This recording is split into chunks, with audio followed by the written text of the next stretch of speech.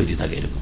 নবী করিম তার মতো হজ করতে বলে উমরা করতে বলেছেন। ওয়াকাল আর বলেছেন, মান আমেলা আমার লাইসা আলী আমরনা ফহরাদ্দুন যারা এমন কোন আমল করবে, লাইসা আলী আমরনা, যার ওপর আমার আদর্শ নেই বা নির্দেশ নেই।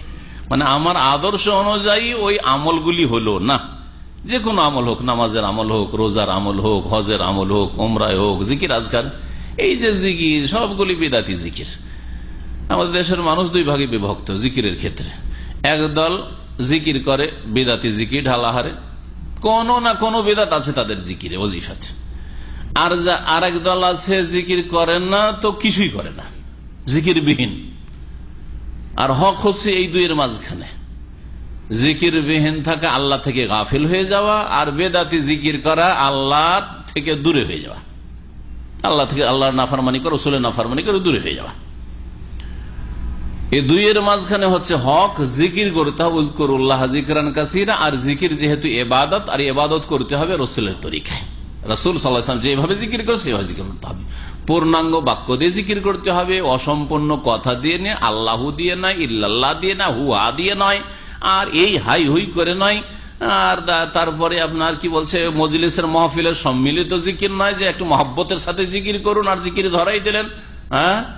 ধরিয়ে দিলেন, জিকির ধরিয়ে দিলেন, এদিকে চা খাচ্ছেন। আর তারপর অসম্পূর্ণ সিরকি জিকির আপনি করে দিয়ে বক্তা সাহেব বক্তা সাহেব জিকির করে কেমন জানেন? বলেন, মহব্বতের সাথে ইল্লাল্লাহ আপনারা বলবেন, কোথায় ইল্লাল্লাহ বলে ও? বক্তা নাস্তিক। বক্তা ইল্লাল্লাহ বলে না, কথাতে নাস্তিক। সে তার মগজে কি আছে সেটা আলাদা বিষয়। কিন্তু কথা ভালো করে বক্তব্যগুলো দুই একটা শুনে দেখবেন, আমি শুনেছি। কারণ আমাকে যখন এরকম কেউ বলল যে এরকম, ইল্লাল্লাহ বলে না, লা এলাহা বলে থেমে যায়। তো একটু শুনি তো কনফার্ম হওয়ার জন্য শুনতে লা বলুন, মহাব্বতের সাথে একটু, লা এই লা এলাহা একটু শুরু করে, আমার তো অত সুর হয় না আবার, ওসব করে তো অভ্যাসও নাই।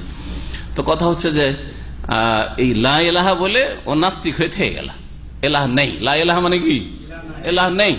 তোমাদের আছে তোমরা ইল্লাল্লাহ বলো। দূরত পড়ে ওই রকমই আল্লাহ সাল্লে আলা সাল্লে আল্লাহ মানে কি? আল্লাহ হে আল্লাহ, সাল্লে মানে রহমত নাজিল করো, আল্লাহ, ওপরে।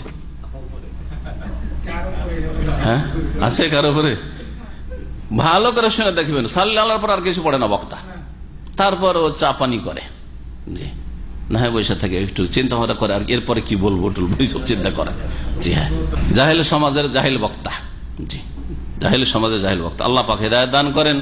আর জনসাধারণকে ইসলাম শিখার তৌফিক দান করেন। নবী সাল্লাম বলেছেন, আরও মান রাগে বা আনসুন হ্যাঁ কি বললেন? নবীর আদর্শ মোতাবেক যদি আমল না হয় তাহ ফাহু আরাদ্দুন সেটা হচ্ছে প্রত্যাখ্যাত, মরদুদুন। ওয়াকালা, আরও নবী সাল্লাম বলছে এই হাদিসটি, যে মানামেল আমালান, সেই হাদিসটি রয়েছে বোখারি, মুসলিমে। বোখারি, মুসলিমে রয়েছে। আর তারপর হাদিস হচ্ছে, মন রাগেব আনসন্নাতি ফালাইসামেননি যেই ব্যক্তি আমার আদর্শ থেকে বিমুখ হলো, সে আমার দলভুক্ত নয়। এই হাদিসটি সহি বোখারি, মুসলিমও রয়েছে। আর খুজু আন্নি মানাসে কাকুম আমার থেকে তোমরা হজ ওমরা তরিকা শিখে নাও এই হাদিসটি সহি মুসলিম রয়েছে। রেজালিক মিনানসু এছাড়াও বহু হাদিস রয়েছে যে হাদিসগুলিতে নবী করিম অনুসরণের নির্দেশ দেওয়া হয়েছে এবং তার বিরোধিতা করতে নিষেধ করা হয়েছে। আল্লাহ ফকরাবুল আলম যেন নবী করিম সাল্লামের আদেশ নিষেধ মেনে চলার তৌফিক দান করেন, তার সত্যিকার আনুগত্য করার তৌফিক দান করেন, যেভাবে আল্লাহ পাক তার আনুগত্য পছন্দ করেন, সেইভাবে তাকে মানার তৌফিক দান করেন। আল্লাহ পাক তাঁর রসুলের যেন অনুসরণের তৌফিক দান করেন। যেভাবে রসুল উল্লাহ অনুসরণ আল্লাহ পাক ফরজ করেছেন, সেইভাবে আল্লাহ পাক আদায় করার তৌফিক দান করেন। আল্লাহ পাক নবী করিম সাল্লামের তরিকায় আমাদের হায়াত কাটাবার তৌফিক দান করেন এবং তার উপরে আমাদেরকে যেন মতদান করেন আর তার উপরে আমাদেরকে হাসরে উঠার তৌফিক দান করেন। নবী করিম সাল্লামের শফাত আল্লাহ পাক যেন আমাদেরকে দান করেন। নবী করিম সাল্লামের সাথে আমাদেরকে জান্নাতুল ফিরদোস আল্লাহ পাক যেন জায়গা দান করেন। ওসল নবীনা মোহাম্মদ আলহি ওসাহাবি আজমাই